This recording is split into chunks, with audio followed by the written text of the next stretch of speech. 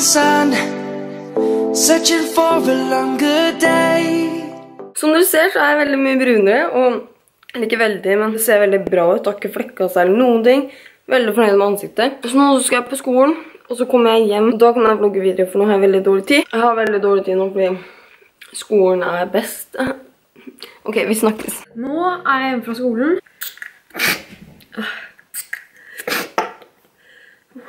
Planen for i dag eh, det er egentlig å øve på teorien, så jeg muligens får tatt i morgen. Jeg vet ikke hvor mange jeg nevnte nå, men liksom. Klokka er nå halv tre, eller snart tre, og jeg skal lage meg litt mat.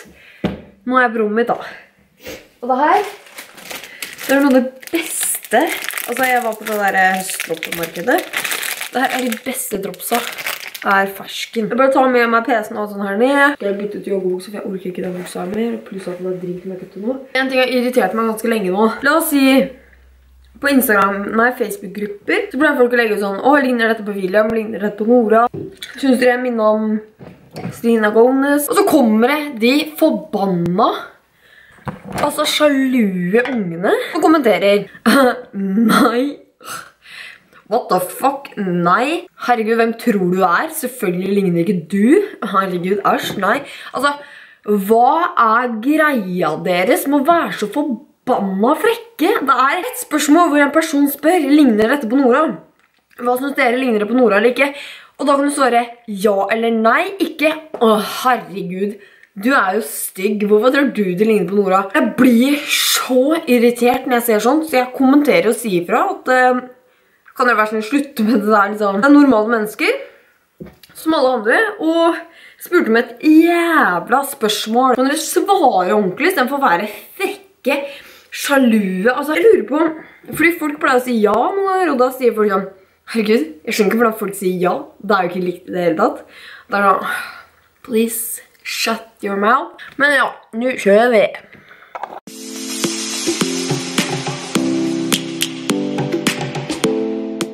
Jeg laget meg bare litt sånn her. Sånn kyllingsuppe på pose.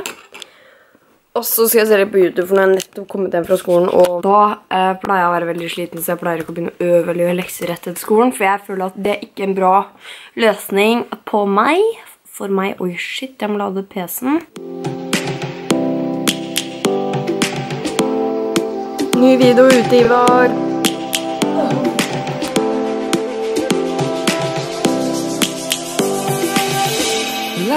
Jeg legger merke til at det er ikke så veldig mye spennende å gjøre i disse vloggene, men dere ser jo i hvert fall at jeg har blitt brunere da, fra i går. Tok selvbruning, så jeg er veldig fornøyd. Eh, Det ble veldig naturlig og veldig fint. Og jeg har tenkt til å gi dere liksom litt mer informasjon, og liksom snakke litt mer om bare denne selvbruninga etterpå. Vi tar etterpå, nå må jeg faktisk øve, så vi prekkes. Klokka er forresten kvart på fire. Nå er klokka snart eh, fem, og jeg har sittet og øvd på teorien fra siste gang jeg pratet. Nå tenkte jeg å ta en pause, og så øve igjen etterpå, etter jeg har spist eller noe sånt. Jeg føler at det går veldig mye bedre nå, og jeg håper jeg klarer i morgen. Jeg er veldig usikker, men jeg må bestemme meg i kveld. Så nå skal jeg bare svare på litt kommentarer også, fordi dere har kommentert så mye. Det som er veldig morsomt er at jeg prater jo litt svensk i videoene mine, ikke sant? Og jeg har fått så mange flere svenske følgere av det, og de sier sånn, å jeg elsker norsk, og jeg elsker når du prater litt svensk, og at vi faktisk forstår alt hva du sier da, og jeg bare, oh my god, jeg trodde jeg sugde egentlig i svensk.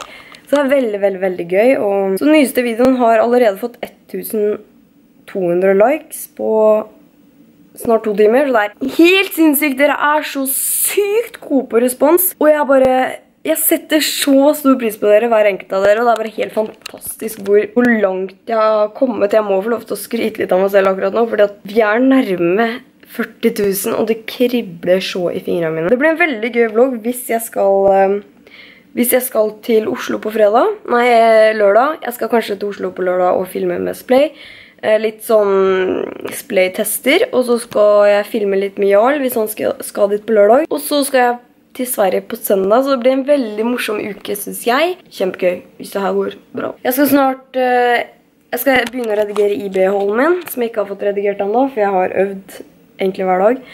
Og så skal jeg fjerne sminka og dusje og sånn. Jeg har gym, jeg har dusjet etter gymmen, men håret mitt er helt sånn ekkelt etter gym og etter regn og bara, nej hörni, det, det är inte bra. Det är inte bra i det hele tatt. This very moment I have, nå skal jeg sjekke subscriberne mine, sist jeg sjekket, sjekket, så hadde jeg akkurat 36.300.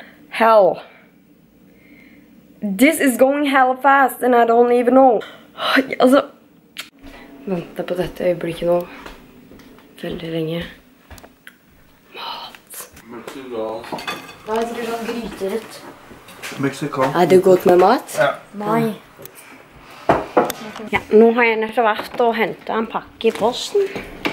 Og det var en, et sånt veggteppe.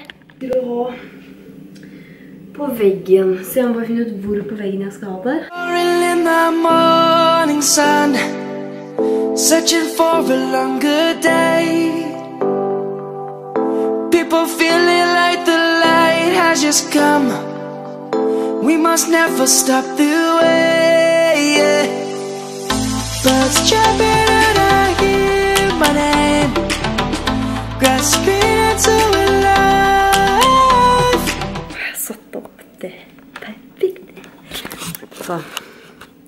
Perfekte, perfekte ser ikke akkurat så perfekt ut, men um, det ble sånn. Det funker senere. Nå må jeg øve enda mer. Og redigere litt. Og jeg tenkte at kanskje etterpå at jeg tar um, Eller jeg tenkte at i morgen jeg vet ikke hva jeg skal i morgen, så da kunne jeg tatt en liten eller etterpå, jeg vet ikke ennå.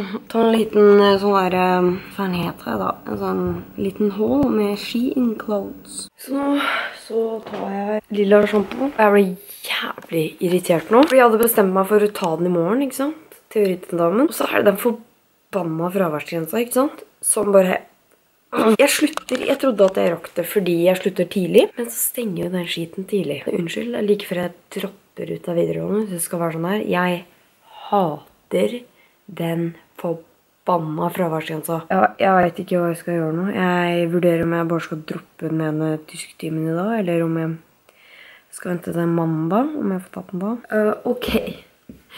En liten update med teorigreiene. Jeg tror jeg prøver å ta den på mandag neste uke i stedet. Når jeg har fritime, så jeg ikke får fravær. Nå så tenkte jeg å liksom informere litt, for nå har jeg jo hatt det her i 24 timer. Altså det sto at den skulle fortsette å bli brun etter 24 timer. Så selvbruninga.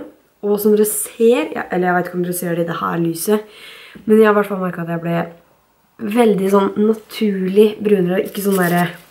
Um, så jeg ser jo at jeg har blitt brunere, og jeg elsker det, og den var veldig lett. Jeg har ikke fått noen sånne striper eller flekker eller noe sånt, så det er jeg veldig fornøyd med. Her er faktisk en av de selvbrunene jeg faktisk liker. Det eneste som er negativt er lukta. Det lukter liksom veldig selvbruning etterpå, men... Så nå skal jeg bare... Jeg har fått litt informasjon om de her, for jeg vet jo egentlig ikke hva som er i dem utenom kokosnøttolje og sånn.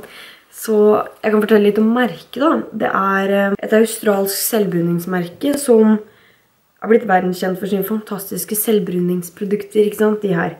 Eller det her er noen av dem. De er veldig drøye i bruk, står det, og det kan jeg være enig i. De var veldig drøye i bruk. Den holder en sånn her, holder ca. 10 fulle kropper, altså ikke drita fulle kropper, uh, men liksom ti fulle kropper, full tan på alle kroppene. Da. Det er syv nyanser fra karamell til absol absolutt, som gir en skikkelig mørk, dyp bruntone. Jeg vet ikke hvem min farge er. Dette er en mousse, som dere så. Det er en sånn som man mosser ut. Den er laget av kokosnøttvann, og det står også her nede. Og det inneholder antioksidanter som beskytter huden, men også fuktighetsgivende oljer, og det er veldig bra da. Og det at det er fuktighet i den, det gjør det jo veldig bra, fordi da blir det ikke flekte, da sprekker ikke selvbryningen opp, og da blir det ikke liksom sånn stripete og flekte, hvis du skjønner. Og som sagt, så kan du selv eh, velge hvor lenge du har på den her før du skyller den av. Ikke gjør samme feilen som meg i går og skylle av med såpe, fordi jeg hadde sikkert blitt litt mer brun hvis jeg ikke gjorde det. Men etter åtte timer så er eh, fargen ferdig med å virke. Ønsker du da mørkere resultat, kan du ta en dusj og så gå over med en ny runde. Det er vel sikkert hvis du skal bli dritbrun. Den har kostet 399 på Miss Perfect, altså den siden jeg har fått det her fra. I dag, dere kan bare gå og se den forrige vloggen hvis dere lurer på noe egentlig. Dette her, det er et 3 i 1 produkt. Eh, Det er en fuktighetsgivende krem da, som gir gradvis farge, og den opprettholder fargen. Så i går så brukte jeg den, så tok jeg på den etterpå. Eh, Den pleier huden godt, perfekt for å bruke til de som ønsker en naturlig glød, som ikke forlenger sin naturlige brunfarge. Nei. Jo, den her koster også 399. Åh, det lukter dritgodt av den tenneren. Åh, det applikatoren. Jeg kan si at den her er veldig myk. Dritdeilig å bruke. Eh, Den er sterk og solid og kan brukes igjen og igjen og igjen, uten at fargen trekker igjennom. Og den her koster eh, 80 kroner, eller 79 på Miss Perfect. Det er en helt rå peeling watt. Den gir skikkelig god eksfoliatering av huden. Det passer perfekt på det før man påfører selvbygging, men også etter for å fjerne rester eller preppe huden for en ny runde. Den koster også 80 eller 79 på Miss Perfect. Her har jeg en rabattkode til dere, og den her skriver jeg på skjermen her. Og det gjør jeg også på gårsdagens video. Selv om jeg får det her produktet gratis, så betyr ikke det at jeg står her og ljuger. Det er jo, min mening er jo for å hjelpe dere. Og hvis jeg ljuger til dere, så hjelper jo ikke det dere. Så nå så skal jeg bare vente litt, og så dusje ut der, og så dusje, og så slappe av. For nå i dag så har jeg bare øvd, og så har det bare endt med at det har gått i dass. Så. Neida, men jeg har bestått to ganger, og jeg fikk fire feil, så jeg er veldig, veldig, veldig fornøyd. Life is happy, but it's so insane.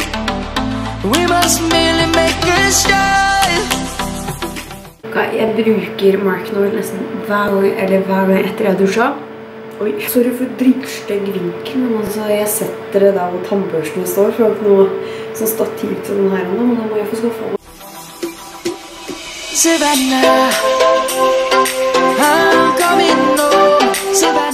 Nå har jeg laget meg brødskive med avokado, tomat, og aromat, pepper og salt.